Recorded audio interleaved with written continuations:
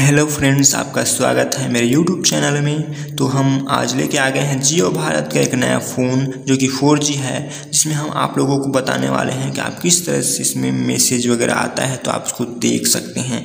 तो फ्रेंड्स इसमें देखने के लिए सबसे पहले इसे अनलॉक कर लेते हैं। उसके बाद यहाँ पे मेन्यू पर क्लिक करते हैं और यहाँ पे मैसेज पर देख सकते। हैं मैसेज आपको एक आया हुआ है, आप उसी को कैसे देख सकते हैं। तो इसको क्लिक करेंगे और यहाँ पे आपको दूसरे नंबर पर इनबॉक्स आपको देखने को मिल रहा है। तो उसी पर क्लिक करें तो जगह जियो जियो सावन का ओटीपी आया था, पहले बनाया था उसी का है।